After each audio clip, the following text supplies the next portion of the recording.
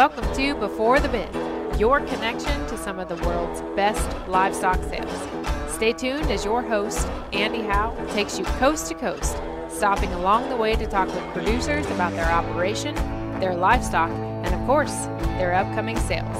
Let's get to it.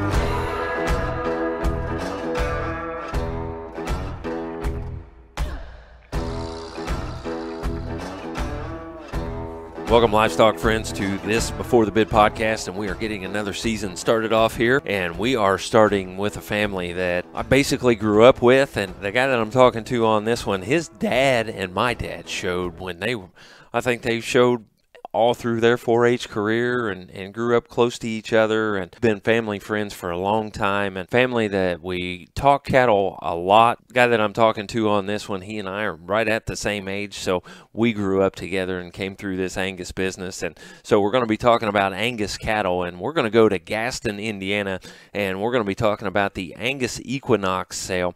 And on the phone with me here from Pipe Creek Angus, I have Jason Miller. They have a sale, uh, as I said, coming up here on September the 20th.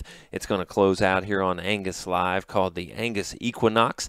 And Jason, welcome to the podcast. Uh, excited about this one and uh, great to talk to you here on this one. Well, thanks, Andy. That's quite an introduction, and I appreciate that very much. Glad to be here today. And what's really cool is you know our dads kind of showed there in delaware county indiana and surrounding counties together. You and your brother and me and my brother uh, showed in the same era there. Right. And now our kids are showing together. Right. You're exactly right. And i think they were lined up at the backdrop in the same showmanship division at the indiana angus preview show this year. That was kind of cool to see those kids lined up there together with three three generations of, of Howes and Millers showing together. We have we've we've gone gone way back. Now I don't know that our that our grandparents had had much connection, did they? No, my grandparents, you know, ran the traditional farm for that era with you know ten milk cows and grain farming and beef cows and swine, but they were not in the Angus business. My my dad kind of got us started there in that when he was in 4-H. So okay, your your dad, my dad, they've been ever since they started. Jason, again, want to welcome you to your podcast. Why don't you introduce your family here and, and tell us about them? And you got a handful of young ones there, as you talked about. yeah, almost a almost a full basketball team. You're right. Uh, we'll start out with mom and dad, and uh, my dad Lee and my mom Kathy could not be more grateful to get to live the life that uh, my wife and I live, and, and we get to raise our kids this way on the farm, raising Angus cattle and, and corn and soybeans in central Indiana. And it's all because of them. But, uh, you know, my dad is, is the heartbeat of our cattle operation and started in 1971 when uh, he purchased a couple Angus heifers for 4 H. And he's been breeding them up ever since. And, and we've got uh, to be the benefactors of all of his hard work and efforts and going through the growing pains as he's you know built this thing up over the years and you know mom's always there supporting us and doing all the the little things behind the scenes like most show moms do and and now show grandmoms do so right um, then from there you have my wife kelly and i and uh, as the next generation then we've got four children three boys and one girl everybody says, "Well, you just kept going until you got a girl." But we got little Emma as a surprise, and uh, wouldn't think twice about doing that again. It's just been a great experience. And Adam's uh, 19, Ethan's 17, Owen's 12, and Emma's 8, and all four of them are heavily involved with, uh, you know, being participants in this in this cattle business. So it's a family event for sure. Still got 4-H days and uh, years to come, and you've been in it for quite a while already. That's right. This was a good year. We only had two kids, and this is one year. We got Adam out last year, and Emma starts next year. So it was our one year reprieve with just having two kids in this year. So. it's uh, always exciting to have quite a few of them. Now, is is Emma? Is she as into the cattle as the boys are? Well, she's learning. You know, she's mm-hmm. been running blowers on these sale babies and um, you know, I was kind of proud of her yesterday. She was holding a tail while we were clipping on one, and uh, she got her foot stepped on and never missed a beat. She just kind of pushed that calf off her foot and didn't cry, no squalling, and um, you know, kind of moved right on. But her real passion is horses. Oh, okay. she thinks dad needs to buy her a horse, and I just think it sounds a lot less expensive to lease one until it grows out of that phase. So, Uh, what, what is it about little girls and horses? Oh, I don't know, but it just sounds like a money pit to me, Andy. To be honest with you. Well, I fought that as well, and I and I keep fighting it. But uh, man, now uh, those little girls will work on you about those horses. That is for sure. Yeah, and they'll pull on your heartstrings too, and they know what they're doing with that. You're exactly right. You are exactly right. Jason, let me take just a step back. Do you know where those first show cattle came that your dad bought? You know, I know he should could sure tell you Right. and, and give you the whole pedigree on them, but um, I think I think they were a down the road kind of deal. Of course, at that time, you know, there were several Angus herds Right. in most counties, but I think they might have come from the garrisons, but don't hold me Okay. to that. Okay. Which they still farm right down the road from us. They just don't have cattle anymore. So okay. we'll have to give the I don't know answer and get back to you later on that one. Okay. another- Okay. Well, I know. I guess I know where ours, where my dad's first came from, and so I wondered if that was from the same place, right there, right there, real close. So, you also in Equinox sale, you also have another family that that has come in this year, and and they're going to consign some cattle to this.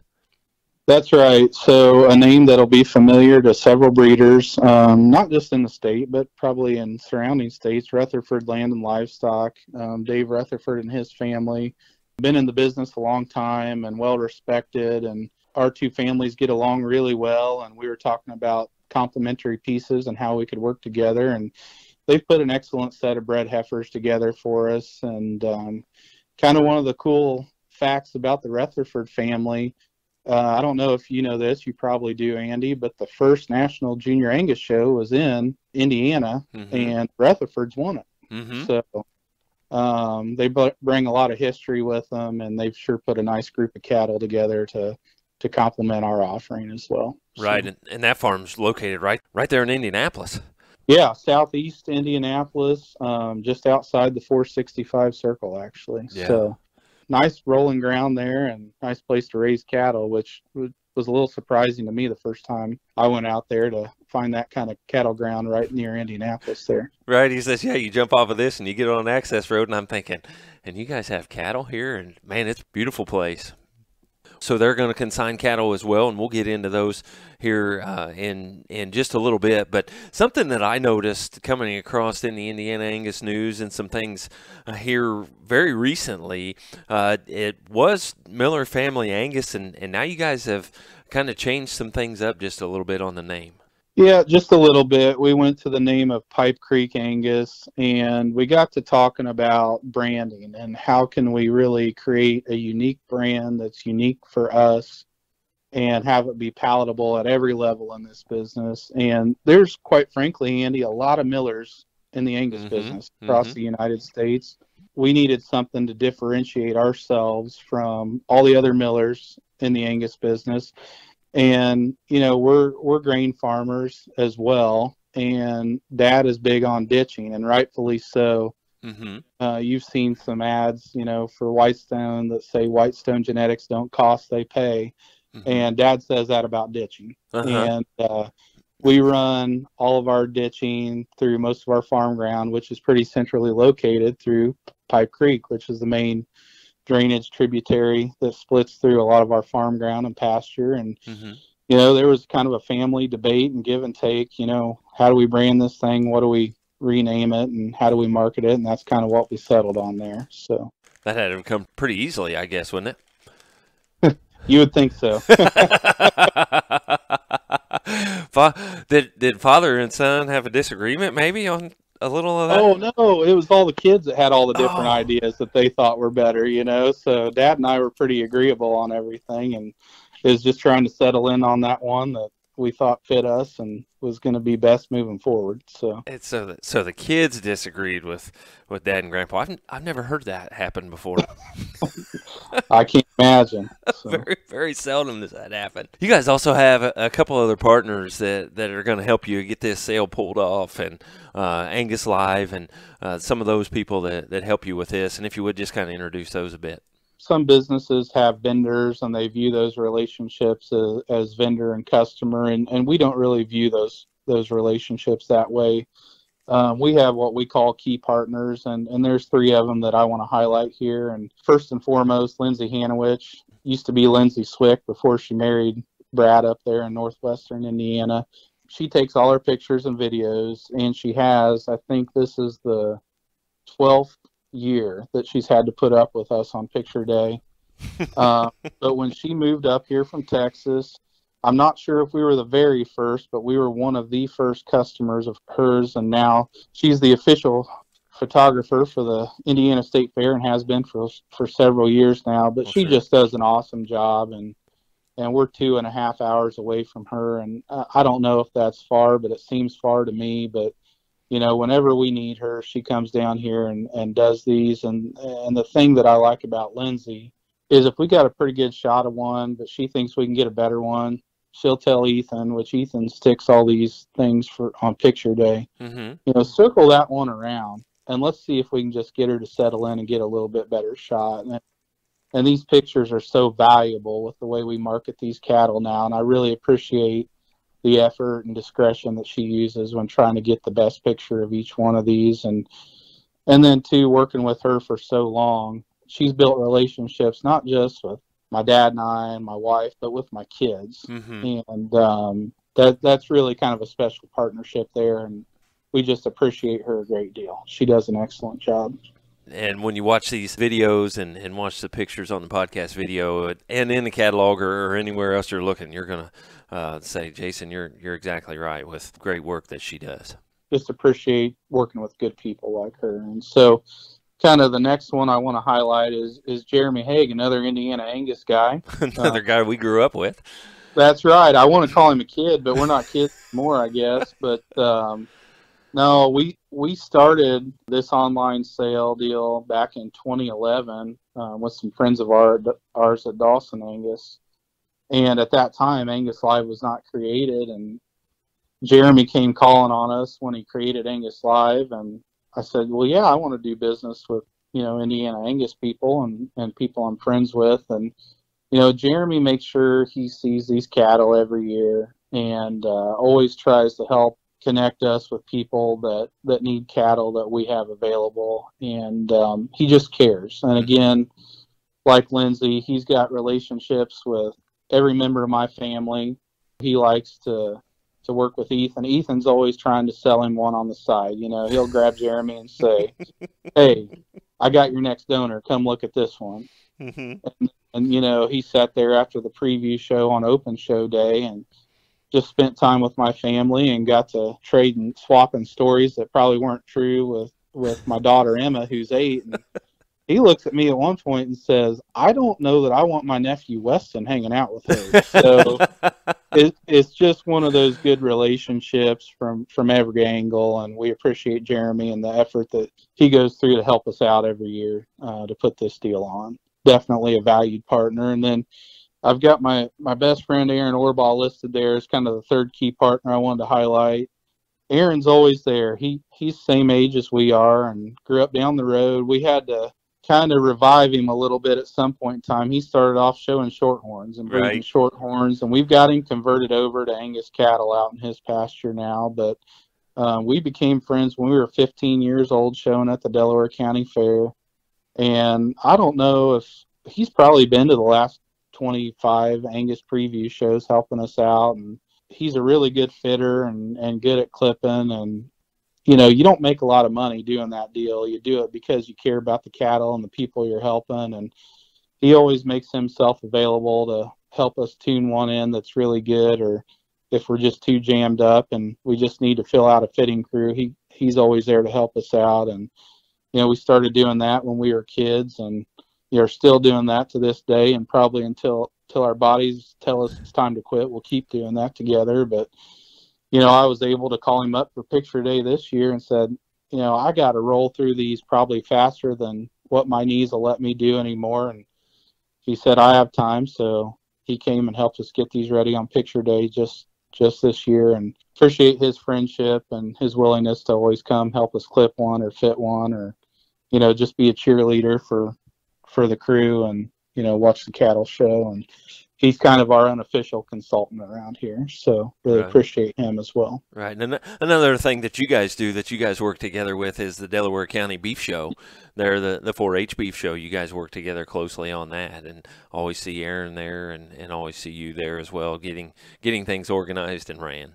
We try to put on a good beef show at, at our county fair and um, you know try to give back a little bit and create a as professional of a show as we can at that level and a, a good time for those kids that participate at the county fair for sure. And he's key in that. So Right. So and you guys you guys do a good job. Uh, appreciate all that you guys do up there. well, you're always there fitting on on your cousin's cattle, right? right, right. What's it been? Ten years? I think I've been there. Uh, they said it was her tenth year this year, so I've been there the last ten years. Yes. And- so you've seen you've seen a few changes here and there, Right. and, Right. and uh, no, it was good to see her get through. And you got a few more years to keep going there. I think he's got three more to get finished up. You're exactly right. We uh, we'll be there a few more years, and, and I'm sure you and Aaron will be as well. So. Yep.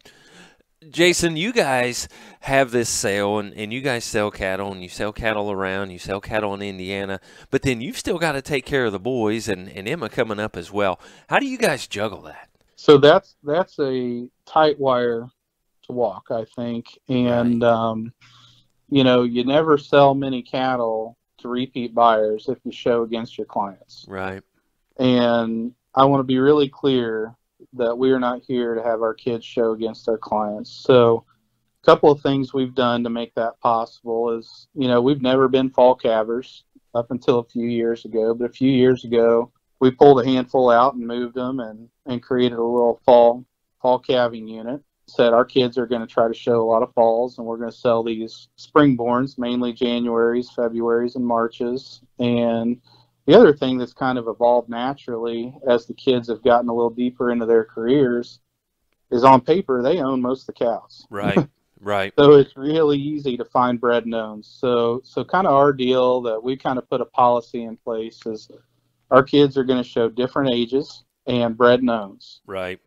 If we've got a bred known February and we're at the Hoosier Beef Congress and there's not a bred known division there, Right. we're not going to show her against the Februarys we sold. We're going to run ours crossbred Mm-hmm. in that deal. And so we're going to be really deliberate Mm-hmm. and really intentional about showing in different classes and different divisions altogether than our clients. And it's challenging sometimes, but Right. we try to really talk with our kids about the why behind that. Mm-hmm. And every now and then, if they need to make a sacrifice to do the right thing for the client, they understand why we need to do that. So um, that's kind of our, our plan around that and kind of how we tackle that situation. and and maybe even putting yourself a little bit at a disadvantage to not be against the client and and go another way.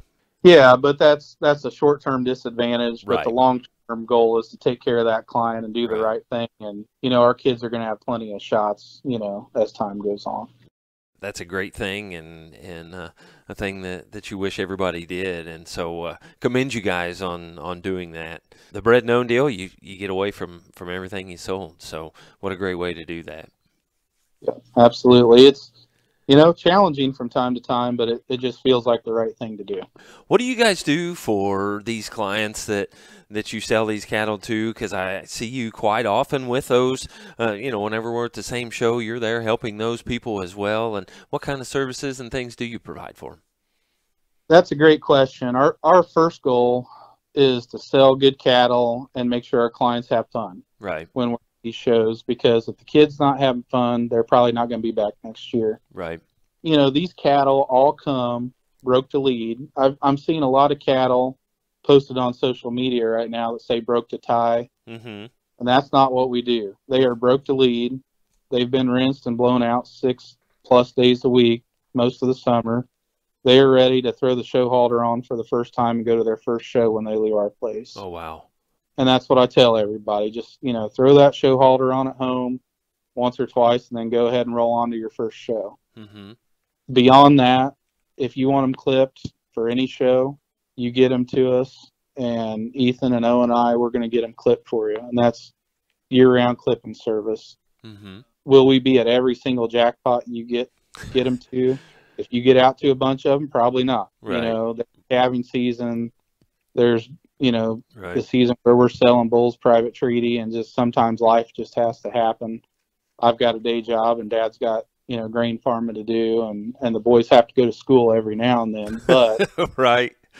Right. we will make the effort to get to as many of them as we can and, and help get them fit and presented.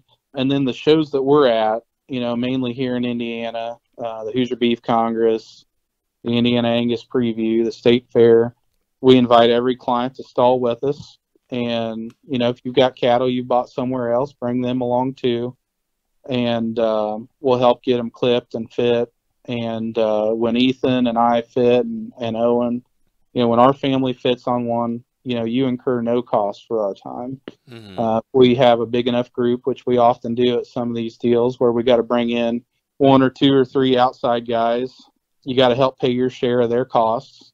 But, you know, when you amortize that out over nine or 10 head, right. and uh, it doesn't end up being a whole lot compared to some of the expenses that you get into with some of these deals. And we try to really have a good time when we have those those shows where we're all stalled together and my wife gets with all the other moms and says, "Hey, do you guys want to group up on food?" and you know, kind of puts uh, some sort of shared site out there where they can sign up for bringing food in for a different meal, and we kind of have a, a fellowship there at each meal, and and uh, the kids play together, and it's it's really a good time when we do that stuff. And you know, it's not just limited to Indiana. We've been going to Louisville at, at North American time for several years, so that's Mhm. always an opportunity. And you know, occasionally we'll hit up Atlantic National and Junior Nationals uh, the last couple of years. And so, any any place we're going, if you bought a calf from us and and we're going to be there together, then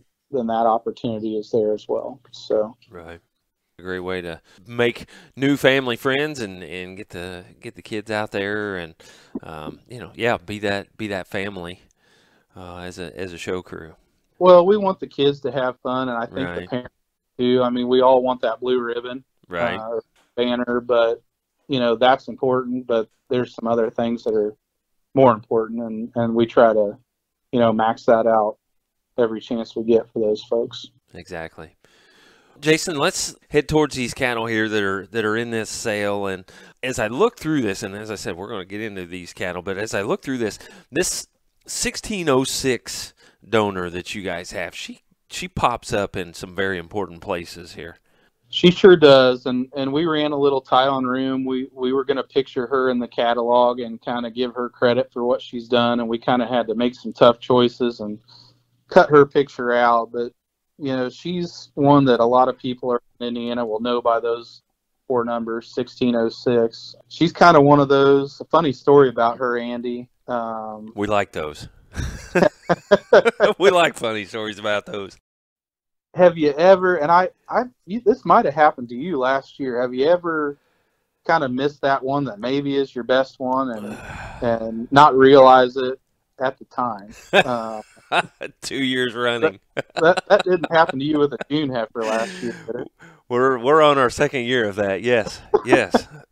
yep. well the story story on her she was born like the last day or two of april and we had a pretty good march and we had this may heifer that was okay and we this was back when oh my brother was showing i think i was out and um we said well that last april she'll never be big enough you know it's hard Mhm. to compete with january's and we'll show this march and this may and we had a fair amount of success with both of them and i kept telling my dad i said that april's pretty good pattern though and we never showed her Uh-huh.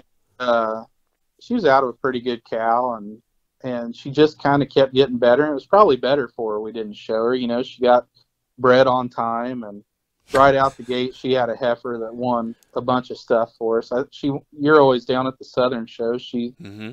her first daughter won that southern show in 09 and Mm-hmm. that was before we were doing a lot of flush work and a lot of ET work, and she just kind of kept having our best calf every year. And we flushed her once with a, a partner that I sold half a flush to, and but then didn't really flush her for several years after that. And then she raised a heifer in 2013 that topped our sale that we were having with Dawson's, and the Brown family bought her, and she did some good for them. And then in 14, she sold another high seller for us, and that heifer won the Angus show at the Hoosier Beef Congress. And I looked at Dad, and and the Clock family had that one. I'm sure you remember that Mhm. one. Sure, that- absolutely. and uh, they're good friends of ours, and and we've done a lot of stuff with them. But I said we maybe ought to start flushing this old cow and uh, max trying to maximize what we can do with her because she kind of keeps doing it. So I told Lindsay she was there helping take pictures at the Congress. I told her that night. I said we better get this cow pictured this winter because she's nine years old. hmm So that picture that that you have of her there, Andy, is is her at nine years old oh wow. uh, about 30 days before calving that time. And so then we started flushing on her a little more and trying to get multiple daughters born every year. And we flushed her to Luton, and that's kind of where we got our current donor from, who's who's now five years old and is doing us a lot of good. And hmm and her daughter there, that that Luton made 917, she's uh, the mother of lots 336. We've got uh, got four of her daughters in here. So the 1606 cow has uh, I think four granddaughters, but she's got eight of them in this sale out of 16 live lots that trace back to her. So Oh, wow. Although there's no more direct daughters and no more embryos in the tank, she's still got a, a vast influence on this offering this year. So Right, boy, for a nine-year-old cow in that picture, uh, that'll be on the podcast video. So uh, I'm sure it's been up there. If you're watching that now, she that's a heck of a donor. Wish we could keep them all that looking that way. my biggest regret is that we just didn't start flushing on that one earlier. But um, you know, we flushed her three or four times there at the end and and kind of applied her her Mhm. trait. And we've got several daughters now, and she's got several daughters that are donors for other people too. And so we just kind of kind of got a little late on that, but it uh, it worked out in the end. Well, those are always fun when you when it's like, hey, I kind of missed this one, but now we're now we're rolling. Well, Jason, let's get into these cattle a little bit. Again, we got the Angus Equinox sale. Sale closes September 20th. I got my catalog in the mail today. So here on recording day, so I thought that was really great. You had sent me the link and I'd looked at that, but I have one in hand. How can we get one of those in hand if we don't have one yet? So we're on various social media sites. We're on Facebook, Instagram, and Ethan just started us up Snapchat. I'm not sure I understand how that works, but I told him he's in charge of that. And uh, so just message us, and uh, you can get on our website, pipecreekangus.com, and go to our sale page and view it online there.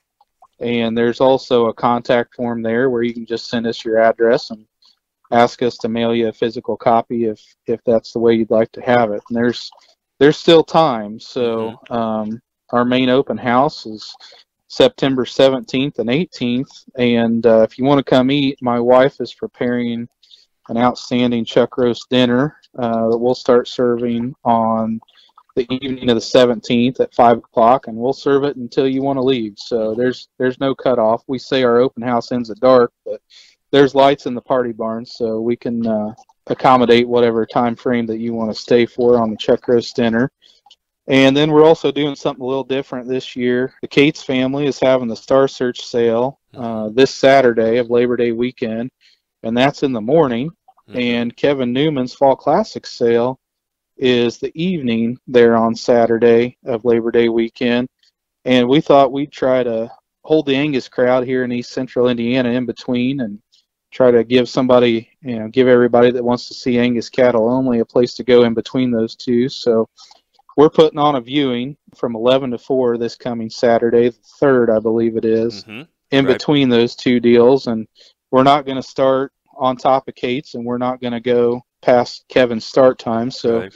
we kind of put a, an 11 to 4 time frame on it and we want to support those two families um, but also you know give people a place to go in between those two sales so you know this Saturday the 3rd if people want to come see the cattle here in person if that's more convenient then wait until the 17th and 18th. We're glad to have you here, and you can pick up a catalog in person here if you choose to come on Saturday. And they can come through the week if if they're listening to this later than than the third on that weekend. Why they can come through the week before the seventeenth and eighteenth? Is that right? Yep, just contact us. sure. The one rule I've learned about selling cattle is if you got somebody that wants to come look, you never tell them no. So, Right. you know, we will we will accommodate you as best we can Uh, we just ask, you know, if it's not one of our three posted dates that you let us know because Right. um, you know we've all got day jobs and we want to make sure we're here to show you around. Right. So Right. Well, Jason, let's get into these cattle, and uh, we start off right here with the with the lot one. We got a Pendleton daughter, and uh, you sent me these videos, and uh, man, she's she's striking.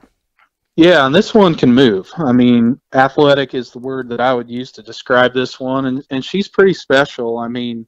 She's not a direct Pendleton daughter. She's out of a Pendleton son that we raised, and um, the special part of her pedigree is her mother. So she's the first natural calf out of this Insight made uh, female that we had win her senior heifer calf division at Louisville two falls ago. And um, that was just one of those days that for a little program like ours was pretty magical. Mm-hmm. You know, this heifer kind of was at 12 o'clock that day and rolled in there and I was standing there in the makeup ring watching on the green shavings like you do after, you know, one of yours goes in.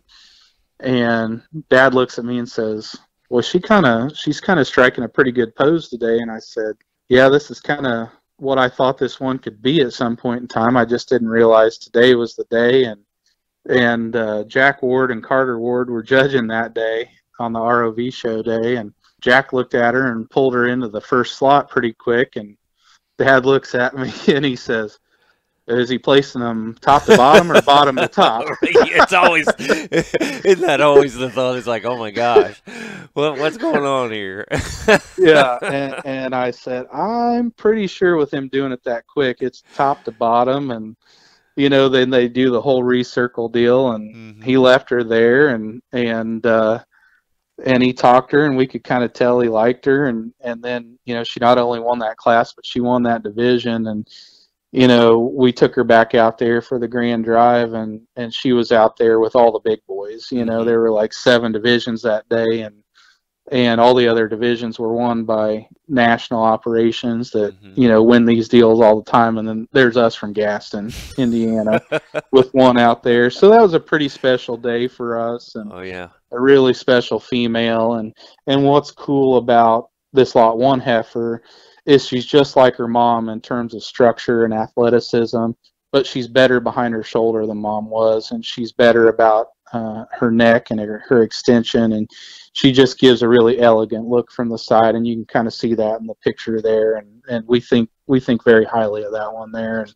i think she's going to do somebody a lot of good in the ring but but also then as a brood cow as as is evidence with with what her mom did first time out and and we got lucky that it was a heifer you know i mean it, we didn't have sex semen here this was a bull bred situation and mm-hmm. came out a heifer and so little luck never hurts and those are always fun too when they're out of yours. Do we want to talk about the LMF profile as if we just go right through the catalog here? Yep. So turn the page there, and and profile was um, a really good herd bull for us. He's a, a bull that we still have some semen available on through Cattle Visions. Really have sold a fair amount of semen on him, and and he also won his division at Louisville in 2017, and and did some other good things as as a show bull. And we cleaned up with him for four years, and then we had a partner with with him lately, and um, he's no longer with us, but. Um, he's in here not necessarily to sell uh, semen, but um, just kind of as a reference. The mother of Lot 1 is his maternal sister, so there's a tie in there. Mm-hmm. And then we're also selling the Lot 2 cow, uh, who's another maternal sister of him. So as we roll into the Lot 2 cow, here's a chance to own a maternal sister to LMF profile and, and a maternal sister to that one that we just got done talking about that won her division at Louisville a couple falls ago. And this is a really good cow. She's right in her prime, really deep bodied, just the right size. Um, you know, not too big, not too small. Uh, really good and symmetrical when you read this one from her shoulder back to her tail head. And she's been productive. We sold a son of hers last year as a show steer, and we've got a son of hers in the sale bullpen this year that I think he'll probably be the first bull sold out of the sale bullpen. He's just kind of one of those combo deals with good numbers, good looking, and she's only four years old. She's just hitting her prime, Mhm. easy keeping, and she's bred to um, Kyle Conley's bull, Pinner's Tops, Right. and it's sex female semen. So pretty good opportunity to get a return on your vet investment pretty quickly with with what should be a heifer calf there, as long as the science works for us. So start out with that on your on the bred female, and and away they go. Well, and with just being four years old, how many more can you get out of her, right? So right. there's there's a lot of future left in that one, I think. So right, right. Going to do somebody a good job. Absolutely, and, and, you know, there's times it's like, man, I I kind of want to buy a bred, but I don't know if it's going to be a bull or a heifer, and whichever one you may want. Why, this should be pretty good, pretty good indication that we're going to have heifer calf. Well, that's why we put it in bold in the sale catalog, Let's say should be a pretty good indication. So then we roll into to some full sibs here and, and a great family that, as we talked, really doing well with that 1606 on the background. We've got these lot three through six, and uh, you've got the three and four cataloged in here together. Right. We just did them in birth order, mm-hmm. not picking any favorites. Went youngest to oldest on on lots three through six here, and so we've got you know donor cow on donor cow here. So mm-hmm. we got 1606 on the on the bottom side, and then and now they're direct daughters of our Luton made 917 cow. And um, this cow's really been hitting that out of the park for us. Her her first couple natural daughters we kept, and they were different ages, and the kids showed them, and and both of them were many time champions. And most recently, her fall heifer that was born in 2020 during the open house. She decided to come about two hours before we served the dinner there while the donor cow was on display. Um, so she wanted to show off from the beginning. But we've campaigned her for the last 18 months and yeah. just had a heck of a time. I mean, I was Ethan and I were adding it up the other day. I think she's won her class 13 times. Mm-hmm. And those were all state and national shows. Um, you know, she's won some shows and I think 12 of those 13 times she was at least reserve division and, and most of the time division champion. And, and these four heifers are three quarter sisters to that good fall that we've been campaigning. They're out of the same cow. And then, you know, the, the fall we've been shown is an insight. And these, these heifers are obviously blacklist, which is an insight son. So mm-hmm. you've got two generations of donor cows. You've got a three quarter sister that has done really well for us, and she's only a couple weeks from calving herself, so she may or may not be on display on the 17th and 18th. Hopefully, she's on on display to support these heifers with a with a little you know calf at side. So we'll we'll see what happens there in between now and then. But I'll talk briefly about each one of these. The lot three heifer her probably unique thing is she's really good at the ground. She's really set back in that pastern angle, just ideal in her hock angle and her knee angle, and just really, really complete. Probably got a little bit of extra muscle, which I like. Mm-hmm. Uh, I think that's hopefully something that we're known for. You know, if people follow our cattle, they say, you know, for Angus cattle, they've got a little extra shot of power to them. That's the way we prefer them, and and I think she exemplifies that. But just really ideal in her angle design, and I really really like that one quite a bit. Right. As we roll into the lot four heifer, this is the one that's got all the bells and whistles. Um, really hairy. mm-hmm. I just text uh, texted Aaron Orball yesterday, who we talked about earlier after we got done clipping on her yesterday. I said it's late August, and I just had to peel a half an inch of side hair off of one, and and that that was her. That's the lot four heifer. Really hairy, really big boned, an extra shot of extension and performance, and uh, I just just really has that classic Angus show heifer look with an extra shot of the extras. You know, the the hair and bone and look, and we think a great deal of that one. Right. I don't know if you've had enough, you know, chances to look at them, Andy, to pick out a favorite of these four, but I I think you're going to be splitting hairs unless I'm missing something. Oh, you're exactly right. Yeah, I've I've been through them as you're talking to them. I've been I've been through the the first four here, the three, four, and five, and I I don't know what I, what I want to do yet. So then you know, turn the page in the book, and then we get into the two Januaries. I think they were born a day apart there. And, mm-hmm. You know, the lot five is just she's a lot like the lot three. Really, really complete, really cowy, really practical in her design love the center body in this one. Mm-hmm. You're never going to get put down for not having enough cow power there in that one. And then lot six is is a little more like lot four. You know, a little bigger bone kind of deal. Probably the highest performing heifer of this foursome, and um, little extra shot of growth and extension, and uh, kind of the kind of look that people like. This one of all of them reminds me the most of her mother, and reminds me the most of uh, the one that the clocks won the beef congress with. That one's actually a three-quarter sibling to the donor dam of these, and uh, in terms of design and kind, reminds me a lot of her mother and, and that one that won that Congress show in in 14. So good group. Um, I don't think there's there's a wrong answer. I just don't know what the right answer is yet. So I don't I don't disagree with you one bit because now I'm on the lot six and I'm like, well, shoot, I thought I had my mind made up. so I think the short answer is people need to come see them and, and just find you know find the right. one that's that's their kind. So right, and I'm like you. I don't I don't think uh, by by looking at videos and pictures and things, I don't think there's anything. I don't think you can go wrong on any of them. And they've they've kind of got the stamp, but they've kind of got a little bit of difference to them. So what a great set. The lot seven, we roll in and, and we've got the Conley Express, and of course, you know, we don't have to say a whole lot about what Conley Express has done in this deal. And there we've got the 917 cow to back them up again. Yeah, I I think we've seen a few express heifers do some winning here the last few years, mm-hmm. and and he sure worked for us as we'll you'll see as we get deeper into the book here. But um, yeah, we got the 917 cow, the donor, the mother of those last four we just talked about on the bottom side here, and then her first calf is the mother of this one, and and she's pictured there with her daughter, and she did some winning you know, maybe not as much as this fall did for us, but you know, she had a couple good days, was third overall at a couple jackpots, you know, won the county fair, uh, reserve division at preview shows. So one that, that played very, very well and has been a really excellent cow for us. Her, this is her second calf. Her first calf um, was the first bull selected out of our sale bullpen. He was good enough. We got him sold in December. So, um, wow. you know, I don't know about you. I'm not selling many uh, 10 month old bulls in December, but no. that's that's how nice he was that somebody saw it and, and spoke for him there. So this heifer here, my daughter does not want me to sell. Mm-hmm.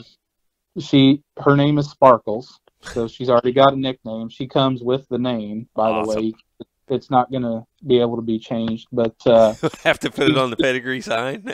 yeah, she, yeah, absolutely. She she's super sweet, and in fact, I needed to do something with her yesterday, and I just walked out in the lot and caught her out there in the lot. Mm-hmm. Um, but awesome disposition, obviously for a young showman. But she's better than just you know selling her on her disposition. She's really extended. She's really growthy. She's a March heifer, but she's as big as some of the older heifers. So I think here's one in a little bit different division that um, has a pedigree to back her up and has all kinds of quality and will do somebody a really good job. Then we roll in. We got, uh, as we mentioned earlier, the Rutherfords. They brought some some cattle for you in this one, and uh, they've got a couple of them here. And we got to we got to follow me to uh, start their division off here in the lot eight.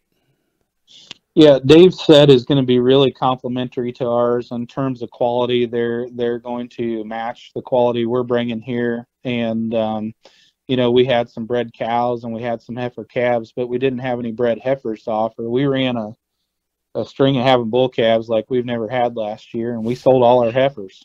Mm-hmm. And we normally like to offer a bred heifer or two, but we just didn't have any more. And so this this kind of makes the whole deal work. And this lot eight heifer is good. I've been there and seen these cattle twice, and every time I see them, they keep getting better. And this one, um, I know we're not necessarily as producers when we get them into production here breeding for hair but this one is hairy as all get out if you, you're trying to make show cattle this one will do it really square and symmetrical in her design really even in her underline got a lot of springer ribs some extra bone and look i mean this one's really really good and um, you know he's he's retaining uh, a couple flushes on these females and there's a reason for that is it's because they're donor quality and and this one's really nice. So um, I don't think you can go wrong there. So right. she's been AI'd to Synergy and then pasture exposed to their Conley Express son. And I don't know if you've been down there recently or not, Andy, but that Conley Express bull is really good. Mm-hmm. Um, but we'll have have the due date confirmed by by sale time on that, whether it's to the AI date or to the herd bull. Lot nine, I really, really like this one. Um, I know that, that this is Dave's heifer, but we've used Tradition of 24 quite a bit. We used him right after he won Denver, and we're some of the first users of that bull, and th- those were good cattle for us, and those cattle made us a lot of money, and and I'm sure this one will do the same for for her new owner. She's out of a, a dam that comes directly from the Silveira brothers, and uh, I don't know if you remember this one, Andy, but Dave selected her out of the Denim and Diamond sale in Denver, and and she brought twenty five thousand, and so. Um, this cow is not only a donor for Dave that, that this tradition heifer's out of, but she's a donor for, for Silveira as well. And they're going to be selling daughters of her in their show heifer sale this Mhm. fall. So royal pedigree, top and bottom. And this one backs it up when you get your eyes on her. She's Mhm. very extended. She's very long. She's very good in terms of her muscle shape and her pattern and really, really sound at the ground. This one's, you know, got show heifer written all over. She just happens to be a bred. And in fact, I know Dave would love to see this one hit the show barn yet and, and maybe be shown as a big bred. But uh, obviously, if the buyer doesn't want to do that, you know, that's that's the buyer's option. But Right. um, this one's good enough to run in the show ring, but it's probably going to be, you know, just as good as a cow. And I really like this one a great deal. So Yeah, a lot of lot of bells and whistles, and she she just brings it all together. absolutely. What a really good bred there. The lot ten will round out the Rutherford entries here on these breds. Yeah, what's cool about this one is is Dave has brought some genetic diversity with each one of these, Mhm. and um, if you see the bottom cow there in her pedigree, at least as far as we showed in the book, the grand dam of this cow is the mother of the famed 419 cow from Four Four Corners, you know, and 419 is the mother of 24 carat. Mm-hmm. So, you know, we've got the 419 heifer pictured there from when she won Denver. The grand dam of this this lot 10 heifer is the mother of the 419 there, and and, and you see it, uh, you see the quality when you look at her. She's really practical, a little more moderate, uh, but she's also a little younger there. Um, just really good in her center rib, really cowy, but yet nice fronted too, and really sound when you see her move around the pen. Uh, this one again, he had AI to Synergy and uh, then pasture exposed to the Express son, and um, really just rounds out a really nice group of bred heifers. As you said, they're they're going to add to to your set, and and man, isn't it funny how that works out when you need something and. Uh, you go to those guys and say, "Hey, it would be nice if we had something." And Dave says, "Yeah, we got three of them that are really nice." Yeah, I, I would like to say that was a plan that just came together really well, but it's just one of those things that we kind of lucked into. But it's it's going to be very complimentary for sure. You guys are no stranger to the Beef Congress and having success in the steer ring. And here you're going to bring this lot 11 at us, and uh, man, this this dude's good. this guy's cool, and um, you know, leave it to guys that you know want to win heifer shows right. put Angus steers out there. You know, so that deal's just kind of happened. You know, you kind of go out there and find one, and you know, you keep finding them, and that's that's a good thing, and we'll take it. But uh, this guy's kind of Owen's project. He showed um, the steer's mother, and um, I don't know if you know Owen as well as you know Ethan, because Ethan's more of, of your daughter's age, Right. but uh, Owen turns them into pets, Uh-huh. and um, he kind of, you know, takes ones that you think, well, maybe this one will have an attitude, and just, you know, you can still go out and rub on them as three or three and four year old cows after he's done with them, and you know, his cow had this this bull calf, and he just kind of started rubbing on him and making him his buddy, and he's he kind of is partial to this one, and this one's really tame because of that stuff that Owen does to him. But um, old Pepper there, he's pretty cool. He's uh, got some shape right behind his shoulder. He's sure got a look from the side. And um, when these pictures were rolling in from from Lindsay, I shot this one to Ethan. He was in bed and must have still been awake watching TV or something, even though he should have been asleep, get ready for school the next day. And he wrote back one word. He said fancy, and I, I think that's a good way to describe this guy when you see the picture there. And like you said, we've been fortunate. We've had a couple steers there that, that we've sold that won the Angus Steer Show at Congress in 16 and 18, and um, you know we hope that this guy can, give him a run at Congress this year if if he stays in Indiana. But we think this guy is really really good and will run with some of these ones from the past that we've sold really well. And and he's starting to hair up too. So um, we encourage people to come take a look at him. Not that we're necessarily in the steer business, but when we've got one that we think will work, we we go ahead and offer him. So got the show pedigree to go along with it as well. So uh, should be should be really successful with this guy. We move on to lot 12, and uh, we got Hill Valley Reckoning. We got another January female here that's got some purple in her. Yeah, this one keeps coming, and we went out to Maryland this year for the Atlantic National, and we got stalled right beside the family that that bred that bull mm-hmm. and became friends with them and he's just good cattle i mean he's good footed and and good looking and good jointed and and we used him early and we got a good group out of him, and I'd say he improved. You know, every cow we bred him to, and um, we've got bushes unbelievable on the bottom side, on the cow side, and um, that cow's been a good cow there. We pictured here. We've got her steer calf we sold there a couple of years ago to the Scholes family, and and that steer did some winning. He won the Northern Angus show and was third overall at that county fair, which is kind of challenging for an Angus steer to get that high up against right. the other breeds, but he was just good enough to get that done. And I think this heifer here is is a lot like that steer was. Really good from the side, really deep centered, really sound and athletic, really extended. You know, a mm-hmm. lot of neck and, mm-hmm. and the right angles throughout. This one's going to be really good. Maybe not the most powerful one when you get behind her right now, but she was a twin. She has a twin sister that we've retained, and I think you know, she just keeps coming every day. And so I think by the time people get out here that they probably won't be too worried about that. And she's done awfully, awfully well for a twin. And we think the future is very bright for this one. So very well. Yeah, I'm about to fall out of my chair. She's a twin. Yeah, we we collected weaning weights last week actually, and so they were herd tags three and four, and so if I add their weights together, that was uh, nearly 1,400 pounds of heifer that that mom weaned off there. Oh so. wow! Wow. So productivity right there uh, in that pedigree as well. Yeah. So the lot 13, we got another Hill Valley reckoning. Yep. So we put those reckoning heifers together there in the book, mm-hmm. and um, on the bottom side we've got a got a Pendleton daughter, and we actually sold um, this one's mother or half of her as lot one in our sale 3 mm-hmm. years ago. So this one's offered in partnership with the Hughes family, and every now and then you know, we like to keep half of one we think is really special and then market those progeny with our with our clients and and this one's really good. I don't want Hughes to get mad at me, but I think this one's better than than mom is and uh, well, I'm sure they're proud of that. yeah, they, well, they own part of that one too, right? Right. So they went right, away. right. So, um, this one is really good and level out of her shoulder, uh, really attractive and eye catching.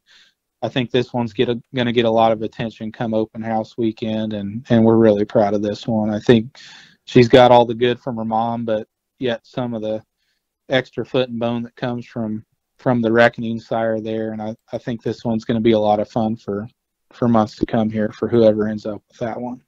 And if we want a bred female and we want to be pretty sure that we've got a heifer calf coming, we've got that here in the lot 14.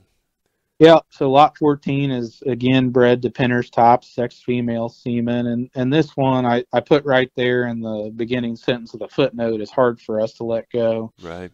Um, these banjo cows have been really good cows for us for a long time. And um, she'll probably be one of the last few banjo daughters running around, I'd imagine, because, you know, he was old when we when we made this one. Mm-hmm. Um, but she's just been a good cow. I mean, you know, we've got her pictured there with her style daughter that topped her sale last year as a bred female. You know, you look across the page and she's the mother of the lot 15 heifer this year. And we've got another supporting picture there of another daughter that we sold. And we've just generated a, a fair amount of dollars with this cow. And she's really good looking, very complete, very stout, very deep. And she just kind of is one of those ones that you love because she keeps doing it every year and breeds back on time every year and puts good ones out there every year. So, you know, if people you know, maybe question me, they just need to come see her. She's she's a nice looking cow.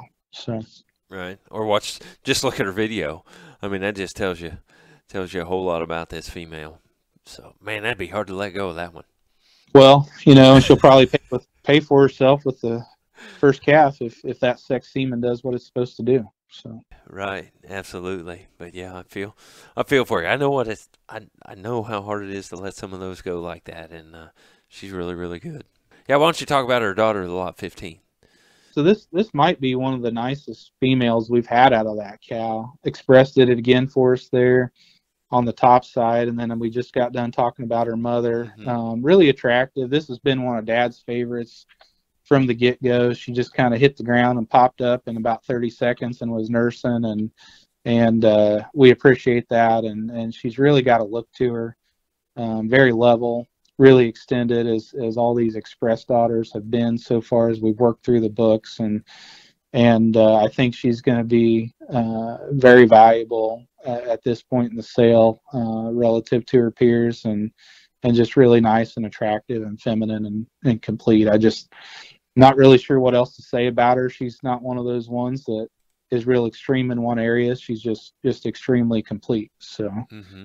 um, but that's a lot 15 heifer there, and another real quiet disposition that would be good for a younger showman on that one. So.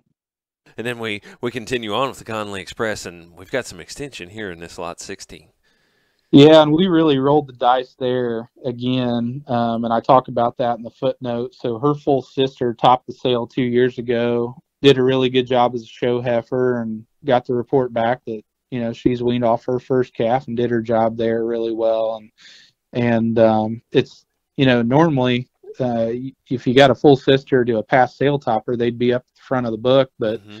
you know, I wanted these express daughters together in the catalog, and there's just a lot to lot to put towards the front of the book this year, in my opinion. But she's certainly not ending the sale because she's the worst one. She's just there because that's the way the book kind of fell together, and she's like a carbon copy of her full sister.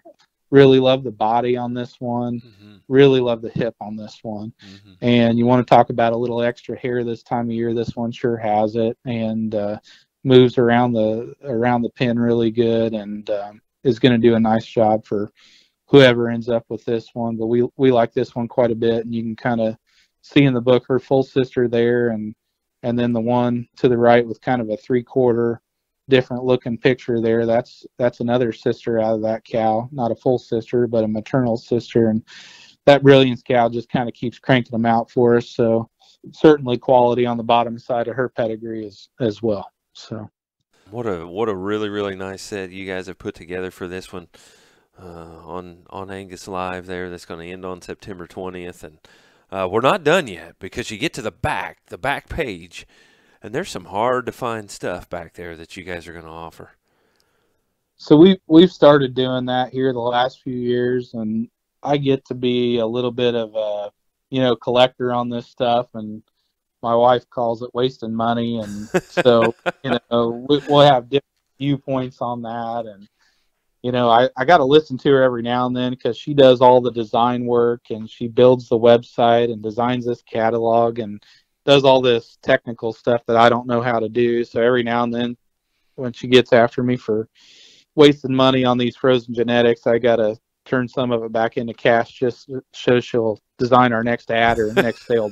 So, right. Uh, but no, when when it came out that Style was no longer with us, you know, I'm a banker by by day, and mm-hmm. so the kids had money in in savings accounts that wasn't earning them anything, and so I called Lance over there at Cattle Visions and I just said, send us 20 units. I'm going to buy 10 for Adam and 10 for Ethan. And, and uh, that turned into a pretty good investment. I think we, we moved half of that last year and almost made all the boys money back. And so Adam's getting older. He'll be 20 here on the second day of our main open house and better probably turn his frozen investment back into cash for him. He's getting the age he might need it for, for something here or there. And so, right we're going to offer three more of his units of style there, and he's sure done us a good job. And and uh, Ethan thinks he wants to keep a hold of it. He thinks we need to flush everything to style. So him and my dad debate on that quite a bit, and I'm think I'm somewhere in between. But he's sure done a good job for us, and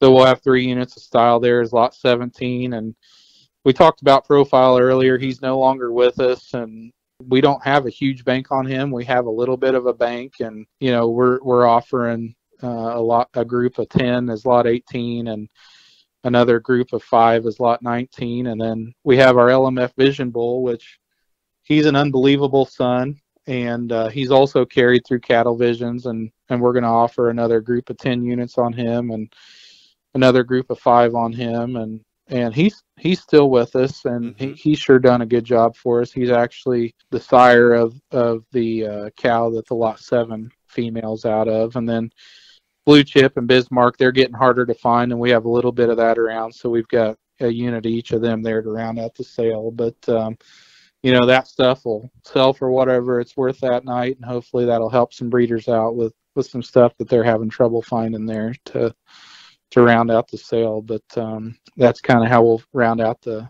the deal there with some semen lots, Andy. That sounds great. Again, uh, look for it on Angus Live for it closes the the 20th. Uh, they got the open houses again uh, Saturday, September 3rd. If you're listening to this before that, and then again open houses on the 17th and 18th of September, 9 a.m. You can start showing up there. Make sure you get that chuck roast dinner on September the 17th to be there and look at cattle and. Uh, I'm sure you can help them bid if if they're as technologically challenged as you are. You can you can have Kelly fill them in, right? we we won't miss a bid for technology reasons. You know, Jeremy had the site rebuilt uh-huh. um, uh-huh. before last year's sale, and it's very user friendly. the The old one was as well, but um, you know, between Jeremy and his wife Jenny and and Kelly and I, uh, just call us and we'll get your bid taken and and we'll make sure you know where you're at throughout the night. And um, you know, just want to treat everybody fairly and, and get the cattle where they need to go and, and into you know our clients' hands and hopefully into the show ring and, and beyond. So, Jason, anything else we need to know about this sale or about these cattle? No, I think I think you've made me talk enough here, and uh, I'm glad. To, maybe I talked a little too much, but glad to chat with anybody as much or as little as they'd like to about the cattle. You know, if you don't want to talk to me, you can talk to Dad. You can talk to Ethan um, and they'll tell you what they think. So. if if you want the short version, maybe Ethan. If you want the a little extended version, maybe Jason. And if you want the real extended version, call Lee. Right? Well, I didn't say that. I'll go out on it. I'll take the heat for that one. well, but you know, I, I couldn't be prouder to to help my dad market, you know, right. his life's work here and and he bred these things up, you know. Right. I mean, a lot of these cattle represented are 9 or 10 or more uh, generations of you know him AI and these things, you know, one generation after the next and um you know, if you want to know about all the genetics and the background there, he he'd sure be glad to spend time talking with you about that. So, absolutely, Jason. Again, they got the Angus Equinox sale hosted by Pipe Creek Angus. Uh, September 17th, 18th, open houses. Sale closes on the 20th. Gaston, Indiana. Again, if you're around there on the weekend of Labor Day, you've got the Star Search sale there at Cates's. You've got the Indiana Fall Classic sale there. Uh, even uh, Newcomb has a sale there in Winchester. So all kinds of things going on right there in that part of Indiana that uh, no no reason to not stop in and see Jason and those guys. Jason, appreciate it very much. And uh, good luck with the sale and uh, good luck with everything. And we will be watching that and paying attention. Well, thanks, Andy. We appreciate you doing this and uh, forward to all the sales this fall and visiting with everybody. Right. Well, appreciate it very much. And we appreciate you listening to another edition of Before the Bid podcast.